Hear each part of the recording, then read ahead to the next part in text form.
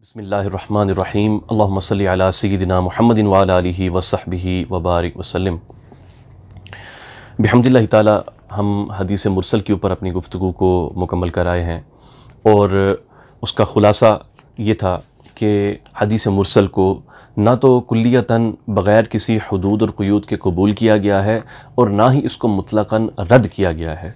जिन लोगों ने रद्द का कौल किया है, वो जो अकवाल हमें नज़र आते हैं, वो फ़कत इस सबब हैं कि इससे मुराद ये है कि फ़ी नफसी ही अपनी ज़ात में हदीस मुरसल को आप कबूल नहीं कर सकते। जिस तरह की एक मुतसिल सनत से जो रिवायत होती है, उसको कबूल किया जाता है। उसको कबूल करने की कुछ शराइ होती हैं।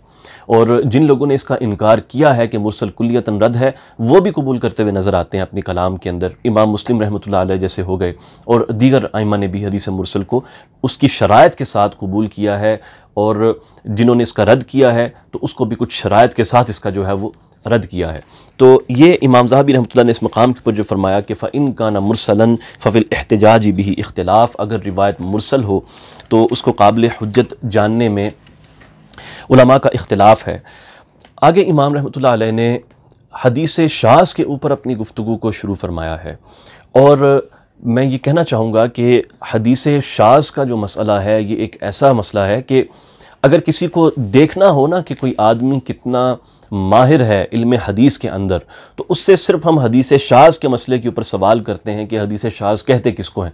वहीं से पता चल जाता है कि अल्लाह सुबहान व ताली ने इसको कितनी गहराई इस इल्म में अता की है। या अभी तक ये सिर्फ़ अपनी सतही मालूम को लेकर और बस यहाँ से पकड़ा, वहाँ से पकड़ा और कॉपी पेस्ट के ऊपर इसका जो है ना वो गुजारा हो रहा है। तो शाज का जो कॉन्सेप्ट है, अगर मैं कहूँ कि हदीस सही की शराइ के अंदर जो पाँच शराइ जो हैं, जो बयान की जाती हैं, उसके अंदर सबसे अहम शर्त यह है कि रिवायत शाज ना हो और इसको समझना सबसे मुश्किल है। कई साल लग जाते हैं इसको कंसेप्चुलाइज करने में। कमा हकूह के हदीस शाज कहते किसको हैं? तो अगर ये कहा जाए कि एक इमेचोर को, एक वो आदमी जो बिल्कुल भी इस इल्म के साथ सीरियस नहीं है कैजुअली इस इल्म को लेता है और उसके नज़दीक बस रावियों की अदालत चेक कर लेना, उनके हाफजे पे गुफ्तु कर लेना आइमा जरह तदील के अकवाल को जमा कर लेना और समझना कि ये मैंने जरह व तादील कर दी है। और एक वो शख्स जिसको अल्लाह सुबहान व ताली ने इस फ़न के अंदर शरह सदर दिया है और वो मामला को गहराई में देखता है। उनके दरमियान अगर आपने फ़र्क करना है तो हदीस शाज के मसले के ऊपर देखें कि वो क्या गुफ्तु करता है और उसकी, उसके ऊपर क्या अंडरस्टैंडिंग है।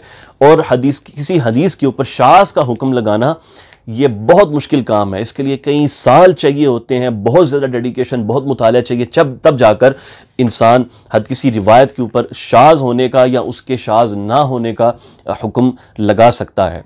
और इसलिए ये, अभी जो मैं इस पर गुफ्तु करने को ये बहुत अहम है। इसको बार बार इस गुफ्तु को सुने। इन इसके साथ मैं आपको एग्जाम्पल्स भी दूँगा। बहुत सी एग्जाम्पल्स दूँगा ताकि ये कॉन्सेप्ट बिल्कुल क्लियर हो कि हदीस शाज कहते किसको हैं। और आगे बात करने से पहले ये चीज़ें में रखिएगा कि हदीस शाज, मुनकर और गरीब की जो इस्तेमाल है, कि ये रिवायत शाज है या मुनकर है या गरीब है, ये सिनोनिम के तौर पे भी इस्तेमाल होती है। अगर इनमें थोड़ा बहुत डिफरेंस है। तो लिहाजा जब हम शाज के ऊपर गुफ्तु करेंगे तो जो मुनकर के ऊपर गुफ्तु है, वो भी इसी के अंदर शामिल हो जाएगी। अब हाफिज़ाबी रहमत के कलाम से हम समझते हैं कि हदीस शाज क्या है। शाज का वैसे लुगवी माना होता है किसी चीज़ का तनहा होना और इसको जमात के मुकाबले में इस्तेमाल किया जाता है। यानी ये जमात का ये अपोज़िट है। आका तो जहाँ अलैहि वसल्लम की हदीस मुबारक के अल्फाज भी हैं कि मन शद्दा शद्दा फिन्नार, जो जमात से जुदा हुआ, वो आग की तरफ़ गया। यहाँ जमात से मुराद मुसलमानों का सियासी नज़म है। तो शाज जो लफ्ज़ है, इसके अंदर ही तफरुद का कॉन्सेप्ट पाया जाता है। और तफरुद से मुराद ये है कि रावी किसी बात को बयान करने में मुनफरद हो गया है। कोई ऐसी बात बयान कर रहा है जो उस एक रावी के सिवा कोई और शख्स बयान नहीं करता। तो रिवायत के शाज होने के लिए तफरुत तो बुनियादी शर्त है। ये बुनियादी शर्त है। अब उसकी आगे से दो कैटेगरीज बन जाती हैं। एक ये कि रिवायत में तफरुद हुआ है मुखालफत के साथ और एक ये कि बग़ैर मुखालफत के।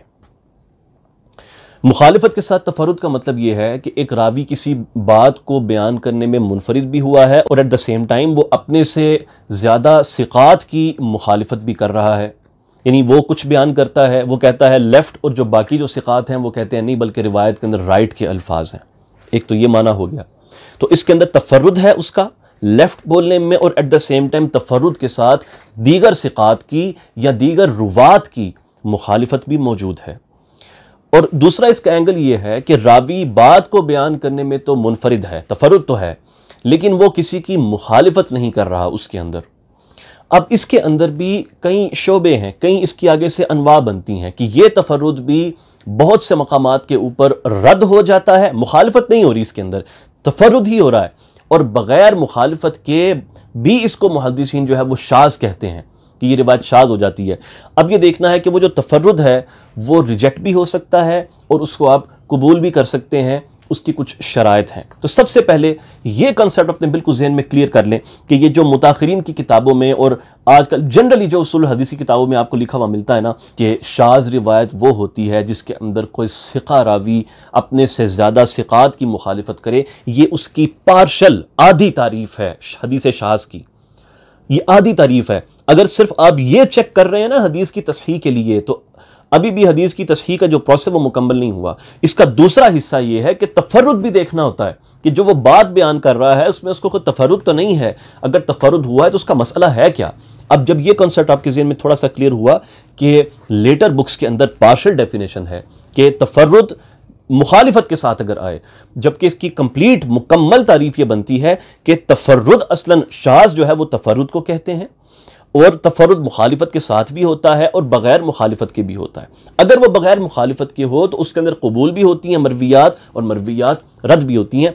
दोनों तरह की चीज़ें आपको इसके अंदर नज़र आती हैं। अब जब ये कॉन्सेप्ट क्लियर हुआ तो अब सबसे पहले हम इस कॉन्सेप्ट को इमाम मुस्लिम रहमत से समझते हैं। इमाम मुस्लिम हो गए, फिर इबन सलाह हो गए, और फिर उसके बाद मैं जहाबी की तरफ़ आऊँगा और इन इसको फिर मसले को और वाजे करेंगे। अब देखें, इमाम मुस्लिम रहमत अपने मुकदमा में उन्होंने जहाँ पर हदीस मुनकर की तारीफ़ की है कि हदीस मुनकर किसको कहते हैं। तो याद रखें शुरू में जैसे मैंने बताया कि शाज और मुनकर ये कम बेश मुतरदफ़ के तौर पर इस्तेमाल होते हैं। तो इमाम मुस्लिम रहमत अपने मुकदमा में फ़रमाते हैं, व अलामतुलमनकरी फ़ी हदीसमहदस रिवायत जो शख्स बयान कर रहा होता है, उसकी मरवियात में मुनकर मरवियात की अलामत यह है, इस तरह पहचानी जाती है, वो क्या है कि इज़ा मा उरिदत रिवायतहदीसी अला रिवायत गैर ही मिन अहलफ्ज़ वर्रवा खालफत रिवायत रिवायता हूँ अब वो दो चीज़ें इसके अंदर उन्होंने बयान की हैं। सबसे पहले तो ये है, कहते हैं कि जब उसकी रिवायत को, यानी जो बयान कर रहा है शख्स, उसकी रिवायत को जब हम दीगर सिकात के साथ कंपेयर करते हैं तो उसकी रिवायत उनके मुखालिफ जाती है। ये तो एक चीज़ हो गई। ये देखिए, उन्होंने कहा कि खालफत रिवायत रिवायता हूँ एक औ, अब इसका दूसरा एंगल भी है। या फिर, लम तकद तुवाफ़िकुहा, या फिर उस, वो जो बंदा बयान कर रहा है, उसकी कोई मुआफ़त नहीं मिलती। उसकी कोई मुआफ़त नहीं मिलती, यानी वो उस कॉन्सेप्ट को बयान करने में मुनफरद होता है, कोई शाहिद नहीं मिलता आपको, किसी भी किस्म का। अब इसमें वो मुखालफत की बात नहीं कर रहे, बल्कि ये दो अलग अलग चीज़ों को बयान कर रहे हैं। एक के तफर्रुद है और मुखालफत भी है, दूसरा तफर्रुद है और मुआफ़त कहीं से नहीं हो रही। तो इसकी बिना पर भी रिवायत को मुनकर कहा जाता है और ऐसे शख्स की रिवायतों को तर्क कर दिया जाता है जिसकी अक्सर व बेशतर मरवियात इस तरह की हों। सबसे पहले यहाँ से आ गया। फिर उसके बाद अब इमाम इबन सलाह को देखिए। उन्होंने अपने मुकदमा में जब हदीस शाज की तारीफ़ की है तो हदीस शाज को उन्होंने दो हिस्सों में तकसीम किया है।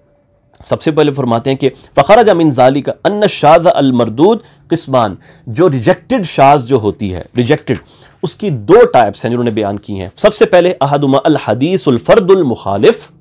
पहली टाइप ये है कि जब कोई आ, कोई शख्स रिवायत को बयान कर रहा है वो उसको बयान करने में मुनफरद है और वह मुखालिफत भी कर रहा है दीगर सिकात की। एक तो ये चीज़ होगी या दीगर रुवात की। और दूसरी वो टाइप ये बयान करते हैं कि ऐसे शख्स का तफर्रुद के जिसके मुतलक हमें कोई ऐसा एक्सटर्नल एविडेंस ना मिल सके, चाहे वो उसकी सकाहत की वजह से हो, उसके जब्त की वजह से हो, या कोई और ऐसी चीज़ हो जो कि इसकी तरफ़ दलालत करती हो कि हम इसके तफर्रुद को कबूल कर सकते हैं। या आसान अल्फाज में कहें कि ऐसे रावी का तफर्रुद जिसका तफर्रुद कबूल ना किया जा सके, अगरचे वो सिका हो, अगरचे वो सिका हो, लेकिन वो आला दर्जे के सिकात में से ना हो तो उसकी रिवायत को भी शाज डिक्लेयर जो है वो किया जाता है।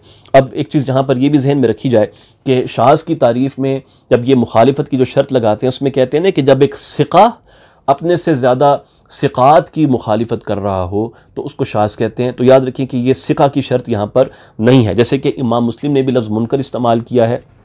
इमाम इबन सलाह भी बल्कि फरमाते हैं, सिका की भी जब फरमाते हैं, अपने मुकदम ने सलाह के अंदर ही फरमाते हैं कि फ़िन का मा इन फ़रद बिही मुखालिफन लिमा रवाहू मन हुआ अवला मिन हु, मन हुआ अवला मिन हु। अब अवला के अंदर दोनों चीज़ें आ जाती हैं।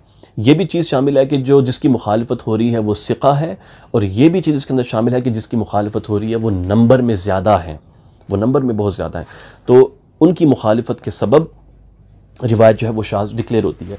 तो अब इमाम जाबिर रहमत की तरफ़ चलते हैं। वो शाज को किस तरह से डिफ़ाइन करते हैं, वो भी शाज की आपको दो ही टाइप्स बताते हैं। एक मुखालफत के साथ है और एक का ताल्लुक, यानी एक तफरद मुखालफत के साथ और एक का ताल्लुक फ़कत तफरद के साथ है, जिसके अंदर मुआफ़त कहीं से भी आपको नहीं मिल रही। वो फरमाते हैं कि अशाजु हुआ मा खालफ़ा रावी सिक़ात, जिसके अंदर रावी जो है वो सिक़ात की मुखालफत करे आओ और अब उसके वही जो इमाम मुस्लिम ने यहाँ पर बात की, मा इनफरद फ़रद ही मल्ला यह तमिल हालू कबूल तफरद यानी कोई ऐसा शख्स किसी बात को बयान करने में मुनफरद हो जाए जो इसका मुतहमल ना हो, यानी उसका हाल ऐसा ना हो कि हम उसके तफरद को कबूल कर सकें। आगे मुनकर को भी साथ ही मिला लेते हैं ताकि ये कंसेप्ट पूरी तरह से समझ आ जाए। कहते हैं, अलमुनकर वो क्या कहते हैं, हुआ, मा इन फ़रद रावी अदईफ़ भी जिस रिवायत को ज़यीफ़ बयान करने में मुनफरद हो जाए, उसको मुनकर कहते हैं। एक, आगे वो फरमाते हैं, वक़द यू अद्दू मुफरद सदूक़ी मुनकर और इसी तरीके से जो सदूक दर्जे के रुवात होते हैं, अगर वो किसी बात को बयान करने में मुनफरद हो जाएँ, किसी कॉन्सेप्ट को बयान करने में मुनफरद हो जाएँ तो उसको भी मुनकर कहा जाता है। अब देखिए किस तरह से तफर्रुद का जो लिंक है, वो शाज और मुनकर के साथ बयान किया जा रहा है। अब इसकी मज़ीद वजाहत के लिए कि मुआफ़त से मुराद क्या है, मैं यहाँ से कोट कर रहा हूँ। तकमील वलदाहली मकासदी किताब इबन सलाह शेख हातिमनी की किताब है। और उसके अंदर वो फरमाते हैं ये तफरुद को दो हिस्सों में तकसीम करते हुए शास को तकसीम करते हुए कि एक तफरुद जो मुखालफत के साथ होता है एक वो तफरुद है जो बग़ैर मुखालफत के होता है। आप इसकी एलेबोरेशन इस तरह से करते हैं कहते हैं कि ऐसे रावी का तफरुद जिसका तफरुद हम कबूल नहीं कर सकते कहते इससे मुराद ये है कि सूरत हो इसकी सूरत ये है कि अन यतफ़रद राविन बेहक्मिन असलिन कि रावी किसी ओरिजिनल हुक्म के साथ मुनफरद हो जाए। इससे, इससे मुराद ये है वो कोई ऐसा ऐसी रिवायत बयान कर रहा है, उस रिवायत में कोई ऐसा मसला आया है कि उसका कोई एविडेंस कुरान में नहीं मिलता, दीगर अहादीस में नहीं मिलता, वो एक ऐसा मसला है जो फ़कत उसी एक रिवायत में जाकर ज़ाहिर हो रहा है।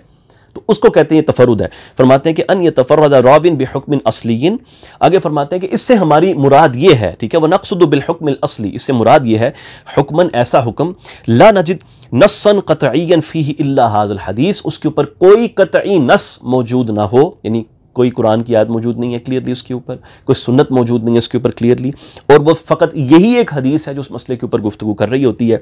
आगे फरमाते हैं, वला नजिद वला नजिद लिहाद नस्सी शवाहिदुल्क़ुरानी अव मिन सुन्ना. ना तो कुरान से शवाहिद उसके ऊपर मिलते हैं, ना सुन्नत से उसके ऊपर कुछ शवाहिद मिलते हैं कि जो इसकी दलालत करें। तदल्लि बिवदूहन कमादल्ला हाद नस अल्लदी रवाहू हाद रावी।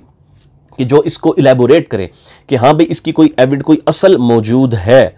ठीक है? और आगे फरमाते हैं, और ये जो रावी है, यानी जो इसको बयान करने में मुनफरद हो वहाद और रावी अल्लाजी तफरदा बिहाज अल हदीस, जो इसके, इसको बयान करने में मुनफरद हुआ है, वो कहते हैं लई समिन किबार हफ़ाज, उसका ताल्लुक बड़े किबार आइम्मा हफ़ाज से नहीं है, जिनकी, जिनके तफरुदात को हम कबूल कर सकते हैं।